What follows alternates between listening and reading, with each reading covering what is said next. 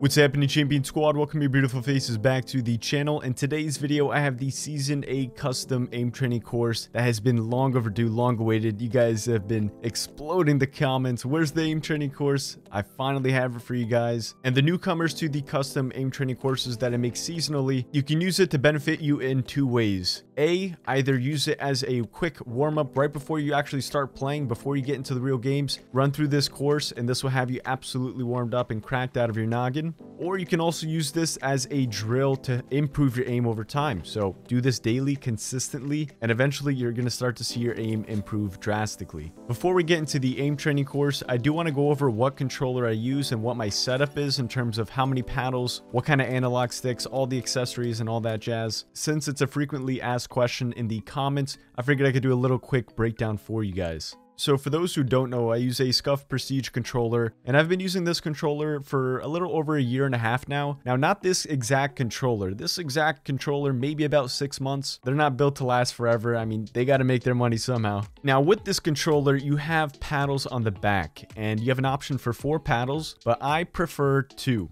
And on my two paddles, I use it for jump and crouch. So A and B for Xbox, and that'll be X and circle for PlayStation. When holding the controller, my left paddle is jump and my right paddle is crouch. Alongside the paddles, I do have trigger stops, which for those of you guys who don't know what that means is essentially it lowers the animation on my triggers. I don't have to click my triggers all the way, which is going to help with those semi-automatic weapons. So if you're running a P2020, that definitely helps when you're spam firing that. Now that covers the back side of the controller. Now for the front side of the controller, I use two concave SCUF Prestige sticks. I know a lot of people prefer the domed analog sticks, Personally, I liked when they're concave, when they're indented in. I get to rest my thumb how I like it. So yeah, both of them are concave. Now my right analog stick though, so the aiming analog stick is heightened. It's a little bit taller than the average stick. And essentially the benefit to that is more range of motion with less amount of input. And I would definitely say it takes time to get adjusted to this sort of style, especially if you're so used to having short sticks all the time. Give it about a few weeks, and I promise you, you'll start enjoying it much more. And with that said, that pretty much covers my controller. Now, I do play on the default button layout, and by having jump and crouch access with ease without removing my aiming analog stick, my thumb on the aiming analog stick, that helps absolute wonders. Being able to keep your right thumb on the right analog stick the entire time while playing is crucial.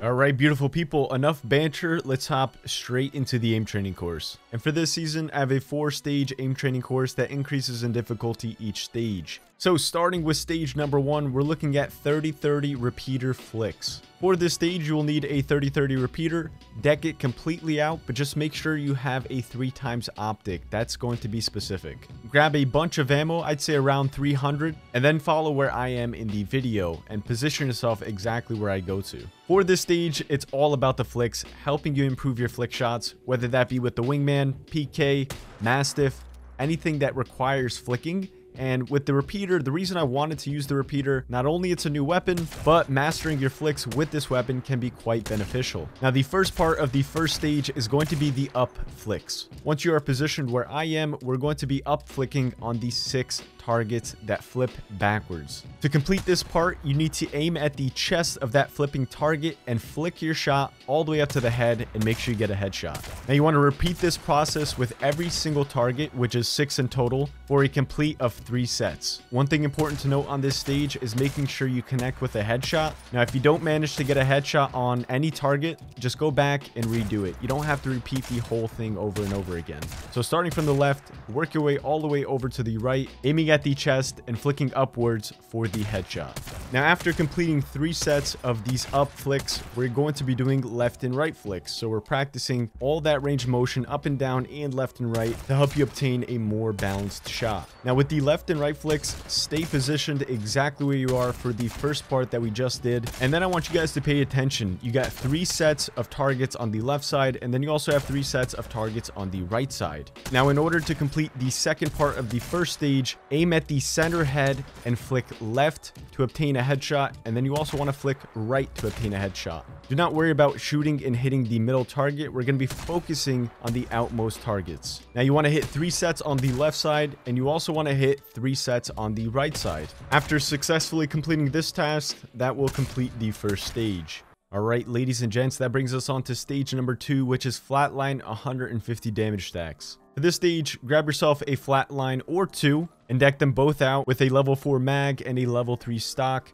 but make sure you have no sight for this stage. We're going to be working with iron sights on this one. Position yourself where I am in the video, which is the sniper weapons platform directly in the middle, but we're going to be up front on it this time. And as the title suggests, 150 damage stacks, that's what we're going for. Focus on the back target in the distance there. That is the static one, the one not moving. And we're looking to achieve 150 damage stacks. And one thing I noticed with these aim training courses, if you guys can't manage to do these stacks, lower the difficulty a bit by limiting the amount of damage dealt. So instead of 150 damage stacks, go for 100 damage stacks. If you can manage that, then go for the 150. It's all about finding what's right for you and always trying to challenge yourself. You definitely don't want to make it too easy. And again, you also don't want to make it too hard. Now for this stage, we're looking to do it a total of three times. So again, three sets of this, and that should complete the second stage.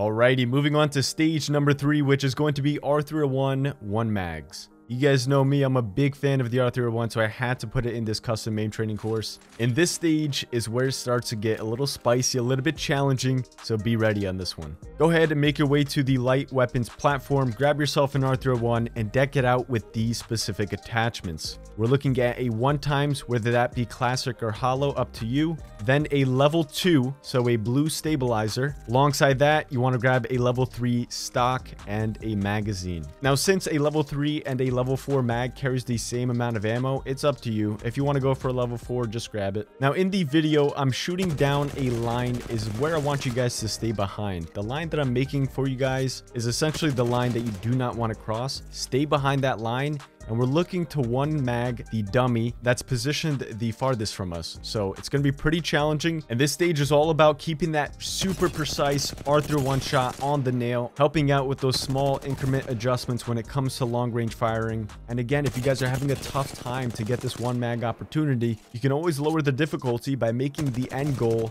cracking the dummy instead of one magging the dummy. But I highly recommend trying to get that one mag because that's going to help drastically to help improve your aim. Now to complete this stage, you want to kill that dummy with one magazine a total of three times. It doesn't have to be in a row. We're just looking to complete three sets of it. And once you can manage to do that, that will complete the third stage. All right, ladies and gents, moving on to the fourth and final stage I have for you guys, which is going to be R99 Hipfire 250 damage stacks. Now for this stage, it's very important to make sure you're playing Revenant. For those of you guys who don't know, when you are crouched as Revenant, you do have a faster move speed. And for this stage, we're going to be crouching by the light weapons platform. So grab yourself a completely decked out R99 with any attachment that you want. Now an optic is not really going to matter since we're hip firing regardless but everything else, deck it completely out. And for this stage, we're looking at 250 damage stacks while hip firing, keeping a left to right strafe. As you'll notice in the video where I am positioned, I sort of show you guys how much you want to move to the left and how much you want to move to the right when you're shooting.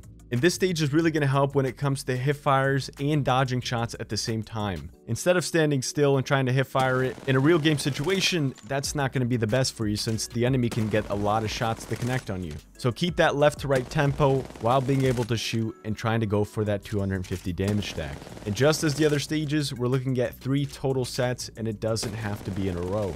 And once you can complete that, that will wrap up and conclude the Season 8 Custom Aim Training course. As per usual, if you guys enjoyed today's video, like rating is always appreciated. Don't forget to subscribe, join the Champion Squad. We are so close to 100k. We're squeezing our way through. I, I appreciate all the support, especially recently. You guys have shown a lot of support on the videos. So thank you so much. I hope you guys have a fantastic rest of your day. And as always, this has been your boy Soul D.